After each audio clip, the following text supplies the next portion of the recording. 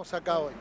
Bueno, estamos acá por la situación crítica en la que se encuentran todos los medios que no pertenecen al establishment y a los medios cartelizados, digamos, los medios que son funcionales al discurso gubernamental y a los poderes económicos. Que la convocatoria que han hecho para poder frente a ENACOM, frente al ente que ha anulado de alguna manera la parte esencial de la ley de servicios de comunicación audiovisual, que defiende, defienden la escena oficial, otros intereses que no tienen nada que ver con la comunicación popular. Se cumple el aniversario del nacimiento de la radio y este, en este momento la radio creemos que están pasando por el peor momento de la historia de la Argentina, ¿no?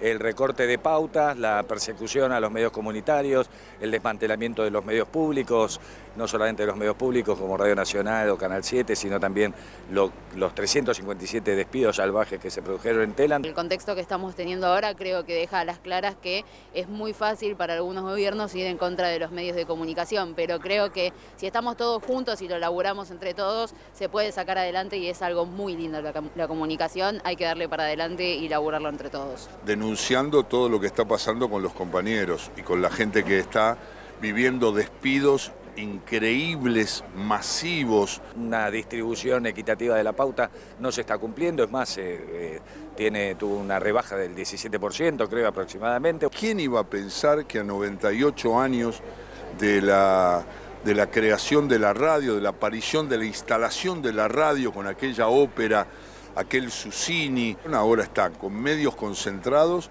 que esconden buena parte de la realidad y, desconocen a medios alternativos. Todo esto coloca en una situación de vulnerabilidad a los medios más pequeños, pero de los cuales los medios públicos, de, perdón, los medios privados no escapan. Vemos que en la prensa se produjeron, desde que asumió esta gestión, más de 3.000 despidos. Es decir, que la pluralidad de voces se ve en riesgo de este, justamente ser callada, ser cercenada y que quede definitivamente un solo discurso oficial que es el que le da cobertura a todas las tapizonadas de este gobierno. Eh, este gobierno en ese sentido ha sido sordo, ciego y, mudo para los demás. No deja hablar porque no quiere otras voces. FM Ocupas eh, en los últimos dos años eh, sufrió dos notificaciones de parte de NACON. La primera advirtiéndonos que teníamos una interferencia con el aeródromo Mariano Moreno.